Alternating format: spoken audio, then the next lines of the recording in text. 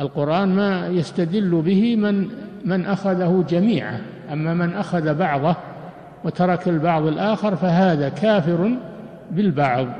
أفتؤمنون ببعض الكتاب؟ وتكفرون ببعض؟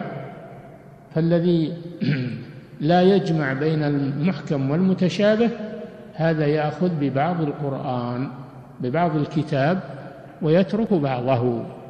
ولذلك قال والراسخون في العلم يقولون آمنا به. كل وش كل؟ يعني المحكم والمتشابه. كل من عند ربنا. فيردون المتشابه إلى المحكم فيفسره ويوضحه. لكن هذا يحتاج إلى عالم. ما يحتاج ما يجوز أن يدخل فيه متعالم أو زائغ يريد التضليل. فلا يأخذ بالمتشابه إلا أحد رجلين.